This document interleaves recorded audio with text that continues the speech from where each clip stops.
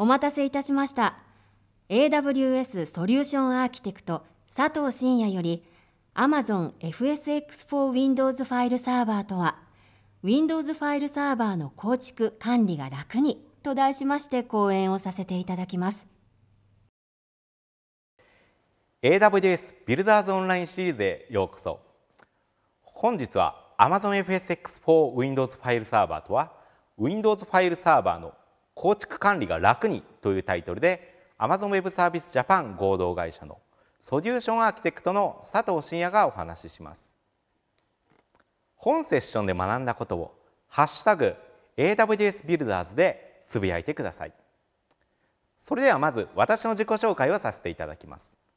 佐藤真也と申します。Amazon Web Service Japan 合同会社の保険ソリューション部でソリューションアーキテクトをさせていただいております。普段は保険業界のお客様に対して技術的なご支援をさせていただいております。本日はどうかよろしくお願いします。まず最初に本セッションの対象となる方についてご説明します。まず最初に AWS を使い始めたもしくはこれからご使用予定の方を対象としております。そして AWS のグローバルインフラストラクチャであったりフルマネージドサービスの概念についてご存知。そして Amazon Elastic Compute Cloud EC2 や Amazon Virtual Private Cloud VPC などの基盤となるサービスの概要についてご存知という方です。この概要についてですけれども例えば Amazon VPC の中には複数のサブネットと呼ばれるリソースを配置できる場所を設定できてそこに仮想サーバーである Amazon EC2 を配置できるということを知っている程度で問題ないです。ただしもちろん途中でこういった説明はさせていただきますので全く自信がない方も安心して聞くことはできますのでご安心ください。そして最後に Windows ファイルサーバーに興味があり Windows であったり Windows ファイルサーバーの基礎知識をお持ちの情報システム部の方を対象としております。本セッションの目標です。3つのことを理解することができます。まず1つ目が AWS とフルマネージドサービスを利用するメリットについてです。そして2つ目です。Amazon FSX 4 Windows ファイルサーバーの特徴について理解することができます。そして最後に3つ目です。Amazon FSX 4 Windows ファイルサーバーを用いて AWS 上でファイルサーバーを構築するイメージを理解することができます。それではこちら本日のアジェンダです。まずオンプレミスのファイルサーバーの課題。つまりなぜこの Amazon FSX を Windows ファイルサーバーを紹介するのかを説明したいと思います。その後 Amazon FSX を Windows ファイルサーバーの概要について説明したいと思います。そしてデモンストレーションを行います。実際に Amazon FSX を Windows ファイルサーバーを用いて AWS 上にファイルサーバーを構築したいと思います。ただし今回は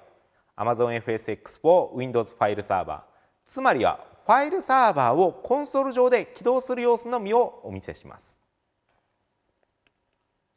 それではオンプレミスのファイルサーバーの課題からお話ししたいと思います。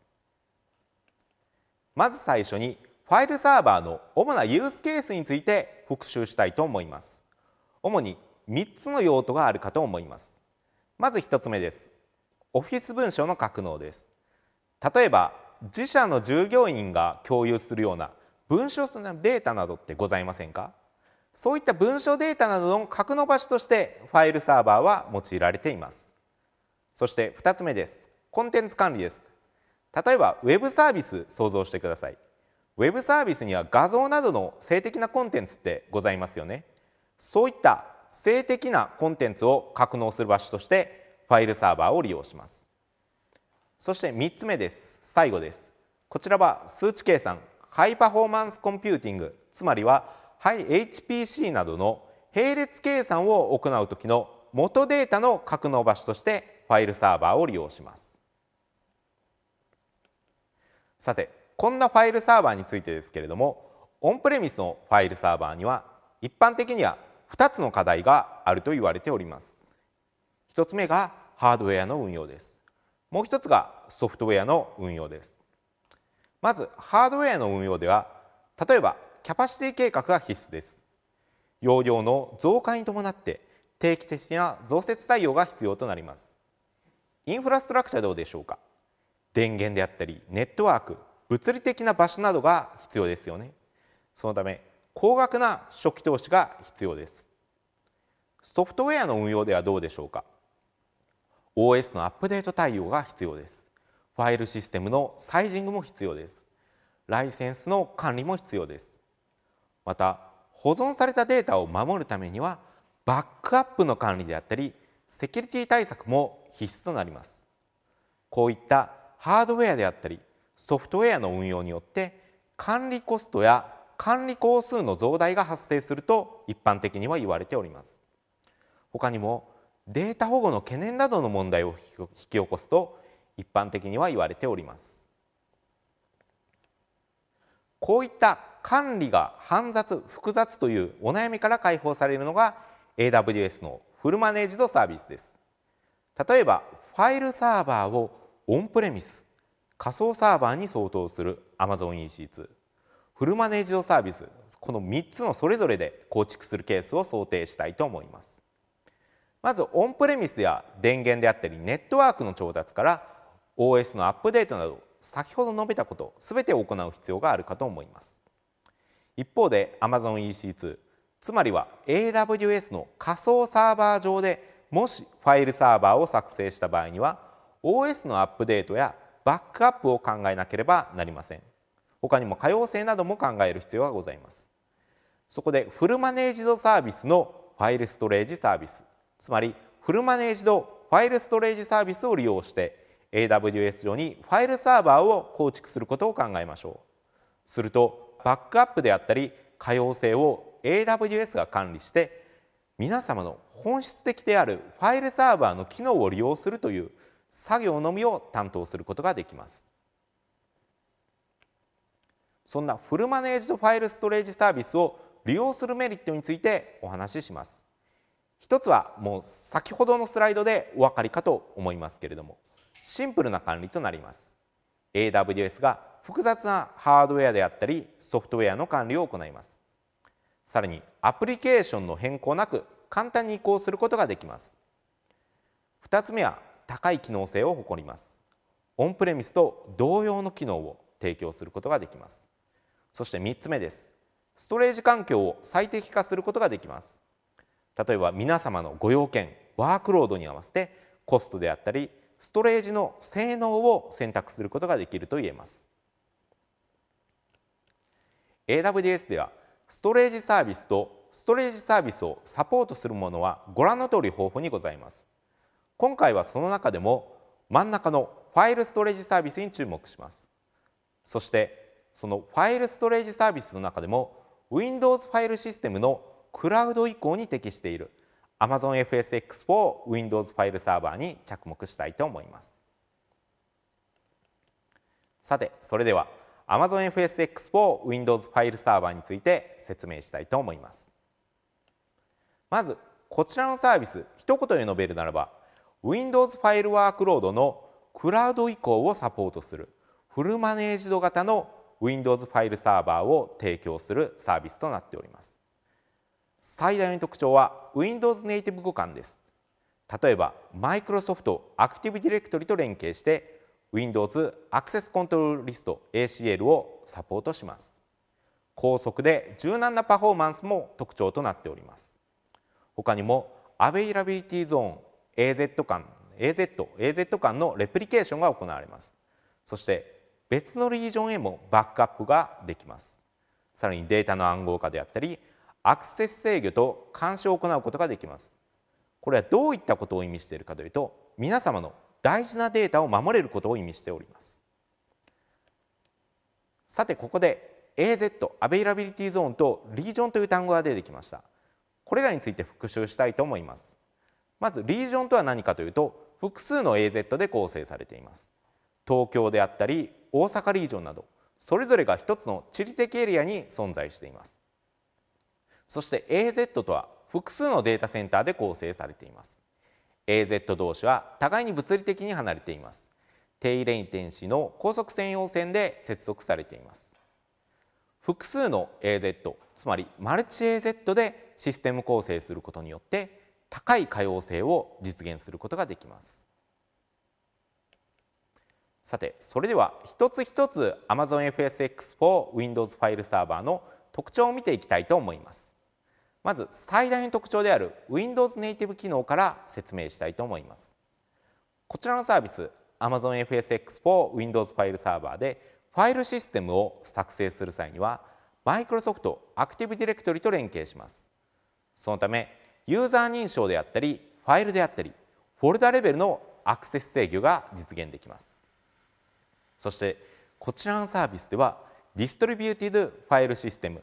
DFS DFS 名前空間がご利用できます。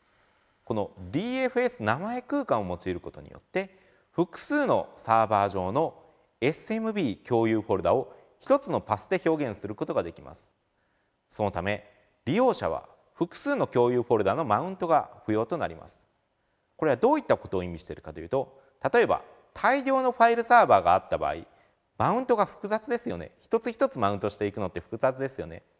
そういったお悩み課題を解決できます。ストレージクォータも設定できます。ユーザーであったりグループが使用できるデータストレージの量を制限することができます。例えば部署ごとなどでデータストレージの使用量を管理したい場合ってございませんかね？そういったケースにご利用いただけます。さらにデータの重複排除機能もご利用できます。ストレージにファイルサーバーにデータがたまればたまるほどストレージの保存容量であったりコストが増加するというお悩みってございませんかね？保存されるデータ量が削減されるためこういったお悩みを軽減することができます。そしてこのサービスストレージタイプは2種類ございます。SSD と HDD を選択することができます。皆様のワークロードやご用件に合わせて採用することが可能です。他にもファイルシステムの容量とは独立してスループット容量を柔軟に選択することができます。これらのことはどういったことを意味しているかというとコストとパフォーマンスを皆様の必要な要件やワークロードに応じて最適化することをができることを意味しています。もちろん途中でストレージ容量を変えることやスループット容量を変えることもできます。今回はストレージ容量をコンソール上で GUI ベースで変更するデモとスループット容量を変更するデモンストレーションをお見せしたいと思います。まずストレージ容量をコンソール上で変更するデモです。ファイルシステム面をクリックします。そして次にストレージ容量の右の更新ボタンをクリックします。その後希望する増加率を入力します。今回は20%としたいと思います。元のファイルストレージ容量が 2000GB なので 2400GB まで拡張できます。更新ボタンをそして押します。このようにストレージ容量を簡単に更新することができます。更新まで少しお時間がかかります。このようにコンソール上で GUI ベースでストレージ容量を変更することができます。続いてスループット容量をこのように同様に GUI ベースで更新するデモンストレーションをお見せしたいと思います。先ほど同様にファイルシステム名をクリックします。次にスループット容量の右の更新ボタンをクリックします。今回は 32MB パー秒から64メガバイトパー秒へと変更したいと思います。そして更新ボタンを押します。このようにスループット容量も簡単にコンソール上で GUI ベースで更新することが可能です。更新まで少しお時間がかかります。先ほどのデモのように Amazon FSX for Windows ファイルサーバーはストレージタイプであったりスループット容量を皆様のワークロードに合わせて決められるだけではありません。途中でコンソール上から簡単にストレージ容量やスループット容量を数クリックで変更することができます。これは AWS ならではのサービスです。簡単に性能の変更ができるので皆様のワークロードやビジネスの成長に伴って拡張することができると言えます。そして複製によるデータ保護についても説明したいと思います。ファイルサーバーは2つのデプロイタイプを選択することができます。一つは単一の AZ にデプロイされるシングル AZ もう一つは複数の AZ にデプロイされるマルチ AZ です。シングル AZ の場合ですと AZ 内部でのデータの複製がなされます。マルチ AZ の場合ですと AZ 間のデータの複製が行われます。そしてマルチ AZ を選択した場合ファイルサーバーの停止やメンテナンスや AZ 単位での障害が発生したときに自動的にフェイルオーバーがなされます。つまりマルチ AZ の場合だと他にも片方の AZ つまりデータセンターの集合体が障害でダウンしてしまった場合にも別の AZ で展開しているので利用可能です。つまりマルチ AZ の場合ですと高い可用性を実現できることを意味しています。バックアップについて説明したいと思います。バックアップは増分で取得されます。そして11.9の耐久率を誇る Amazon シンプルストレージサービス S3 へと保存されます。この S3 というサービス11.9の耐久率ですけれどもこの11.9についてどんなイメージかというと1000万個のデータが格納されている場合を想像してください。その1000万個のうち1つのデータで損失が起きるケースは平均して1万年に1度ということになります。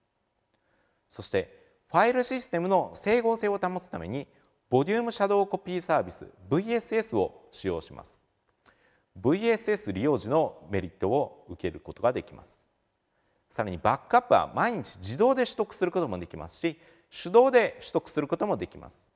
このバックアップですけれども別のリージョンにもコピーすることができます。さてそれではこのバックアップを取るというデモを今からお見せしたいと思います。もちろんすべて GUI ベースでコンソール上で行うことができます。まずバックアップを取るファイルシステムを選択します。そして次にアクションメニューからバックアップを作成を選択します。バックアップ名を入力します。そしてバックアップを作成ボタンを押します。次に左のメニューからバックアップボタンを押します。するとこっちのこのように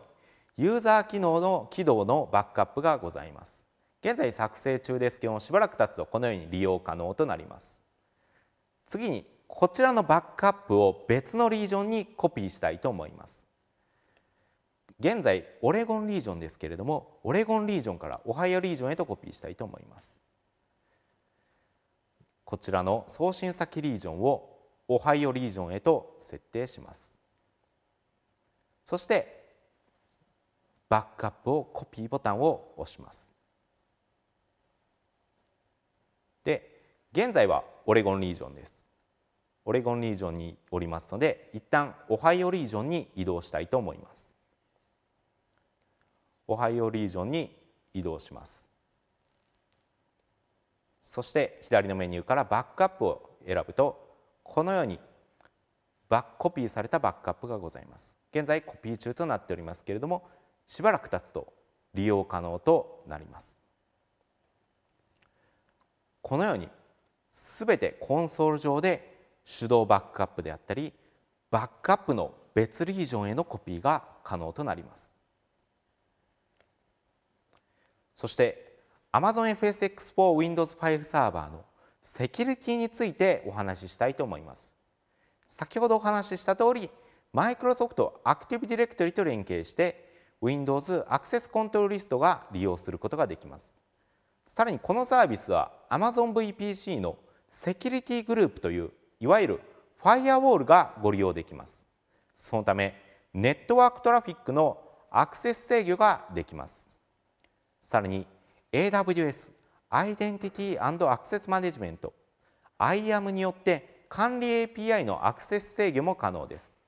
これらはどういったことを意味しているかというとファイルシステムへのアクセスであったりファイルシステム自体の管理を制限することができます。ログについても AWS のサービスと連携することで API コールの記録も可能です。他にも Windows システムによる監査ログも可能です。これらはどういったことを意味しているかというと例えば勝手にファイルを削除されたり変更されたりして困るケースってございませんか？そんな場合にも誰がどのファイルどのフォルダにアクセスして編集したかをログに記録することができます。このように Windows ネイティブな機能と AWS のサービスを用いることできめ細やかなアクセス制御やアクセス監視が可能となります。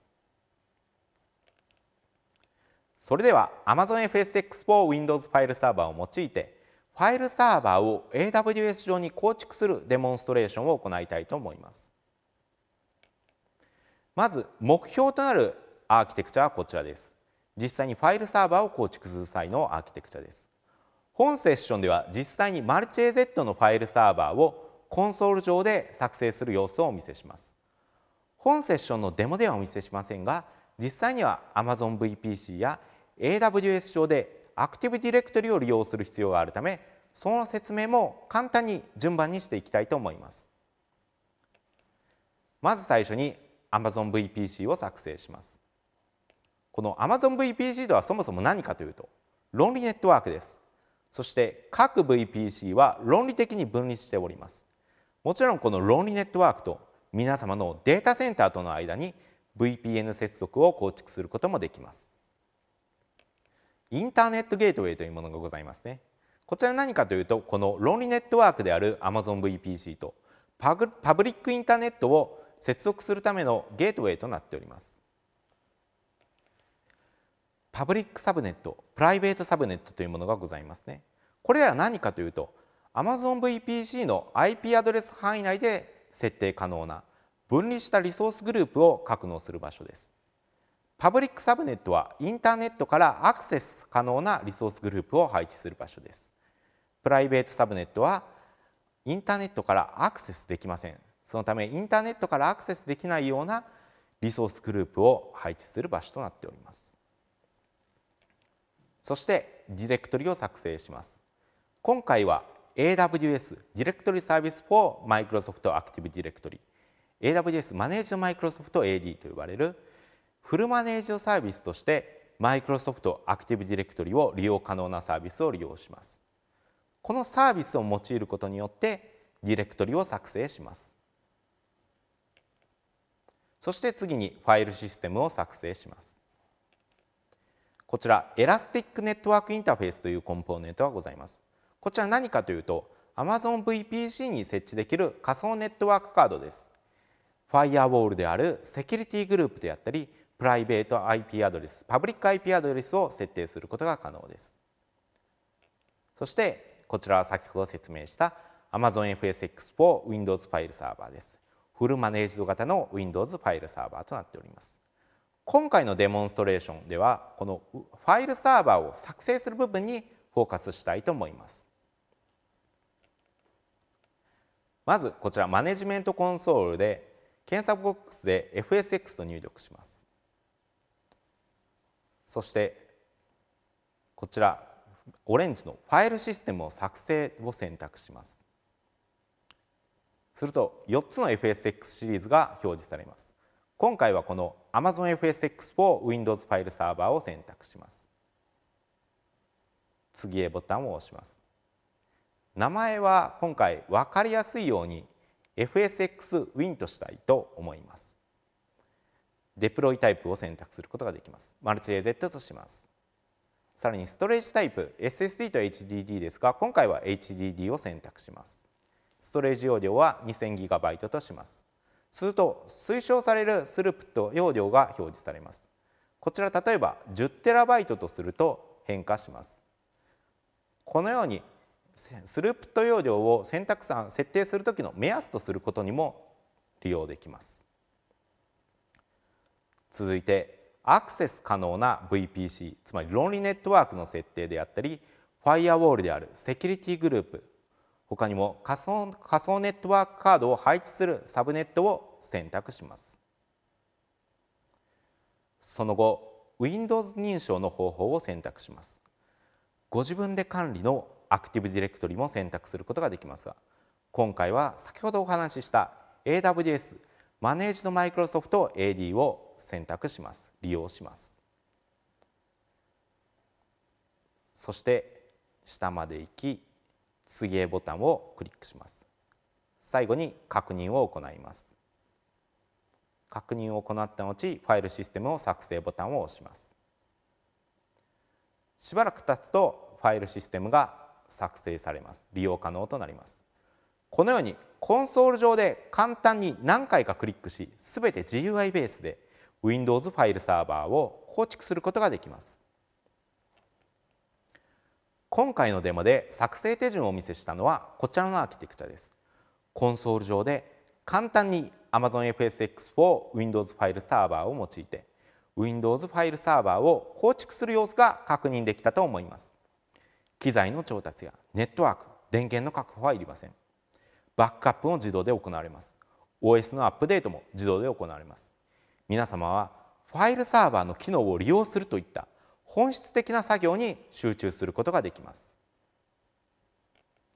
そして構築手順や設定手順はお見せできませんでしたが本セッションのライブラリには Amazon EC2 Windows に対してリモートデスクトップでデスクトップで接続してファイルシステムをマウントさせる方法も含めております。